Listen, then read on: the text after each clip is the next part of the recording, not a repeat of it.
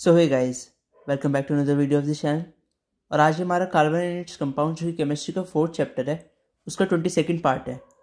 तो अभी तक हमने इस चैप्टर में जो पढ़ा है, उसमें लास्ट टॉपिक हमारा था chemical properties of carbon compounds की जो हमने रिएक्शन पढ़ी थी, उसमें कंबशन रिएक्शन थी सब्सटीट्यूशन रिएक्शन और एडिशन रिएक्शन तो उसमें कल लास्ट जो हमारा टॉपिक था that was hydrogenation of oils और उसमें हमने सैचुरेटेड कंपाउंड्स और अनसेचुरेटेड कंपाउंड्स के बाद में डिकलराइजेशन ऑफ़ ब्रोमीन वाटर भी पढ़ लिया था। आज जो हमारा टॉपिक है that is some important carbon compounds इसमें हम कुछ इंपॉर्टेंट ऑर्गेनिक कंपाउंड्स के बारे में डिस्कशन करेंगे। तो चलिए फिर डायरेक्ट यहीं से स्टार्ट करते हैं।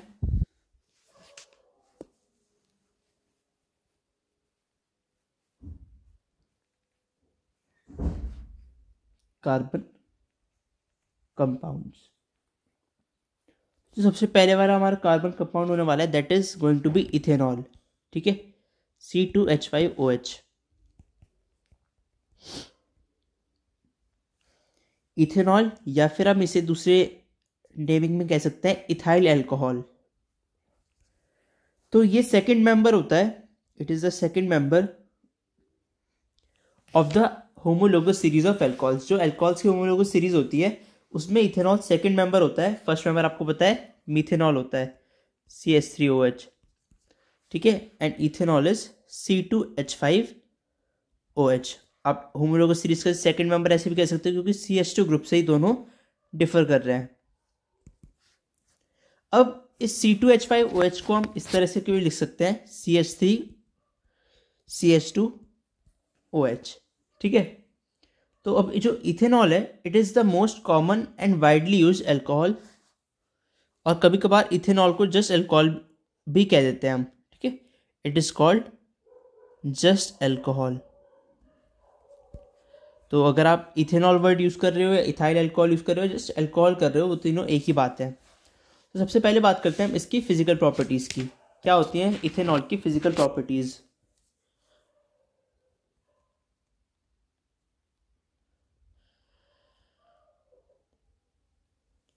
ऑफ़ इथेनॉल तो पहली इसकी फ़िज़िकल प्रॉपर्टी होती है कि ethanol is colourless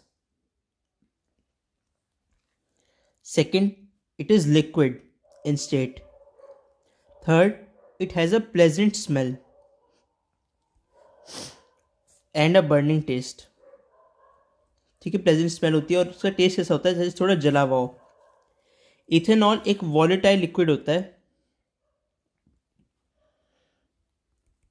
और लो बॉइलिंग पॉइंट है इसका seventy eight degree Celsius low boiling point density की बात करें तो it is lighter than water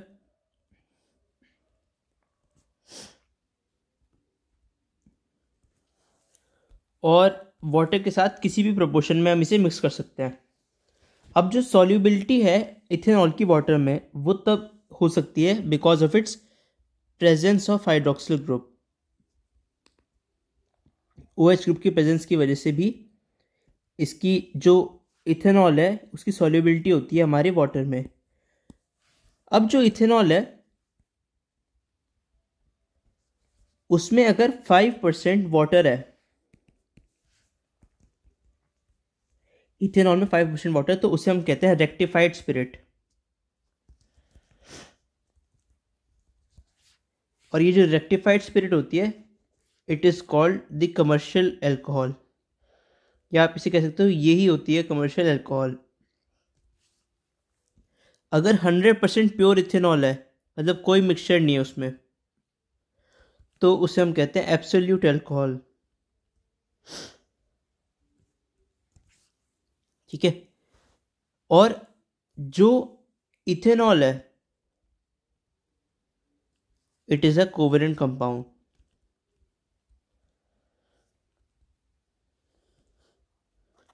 पर इसमें कोई हाइड्रोजन आयंस नहीं होते।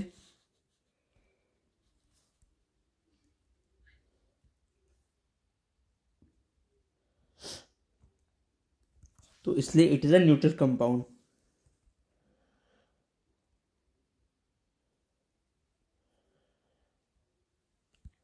अब अगर न्यूट्रल है तो इसका अगर हमें टेस्ट न्यूट्रल है और हमें टेस्ट करना है कि एसिडिक है बेसिक है तो हम क्या कर सकते हैं? हम लिटमस टेस्ट को यूज़ करते हैं। अब लिटमस टेस्ट में ये कोई इफ़ेक्ट नहीं देगा क्योंकि it is a neutral compound. Neutral होने की वजह से no effect of litmus paper या ऑन लिटमस पेपर। इधर वो आपका ब्लू लिटमस पेपर हो या फिर रेड लिटमस पेपर हो। तो जो भी आपके सारे अल्कोहल्स होते हैं, वो न्यूट्रल होते हैं और किसी भी तरीके से लिटमस पेपर को इफ़ेक्ट नहीं करते। अब अगर इनकी केमिकल प्रॉपर्टीज़ के बारे में बात करें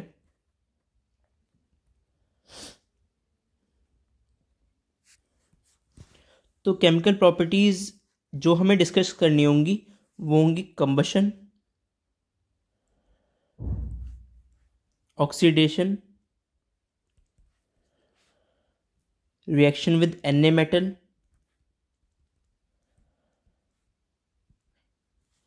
dehydration और रिएक्शन विद कार्बोक्सिलिक एसिड्स ठीक है तो ये हमें डिस्कस करनी होंगी when we will talk about the chemical properties of ethanol तो इथेनॉल की केमिकल प्रॉपर्टीज़ में कंबशन भी हमें पढ़नी है रिएक्शन विद सोडियम मेटल पढ़नी है डिहाइड्रेशन पढ़नी है ऑक्सीडेशन और रिएक्शन विद कार्बोक्सिलिक एसिड तो सबसे पहले आता है हमारा कंबशन कंबशन हम अभी जब केमिकल प्रॉपर्टीज़ ऑफ़ कार्बनिक कंपाउंड्स पढ़ा था, हमने ऑर्गेनिक कंपाउंड्स की केमिकल प्रॉपर्टीज़ तब भी पढ़ा था। तो अगर हम कंबशन प्रॉपर्टी अब पढ़ रहे हैं इसकी इथेनॉल की तो सबसे पहले हमें ये पता होना चाहिए कि कंबशन हाँ कि जो हमारा इथेनॉल होता है it is highly inflammable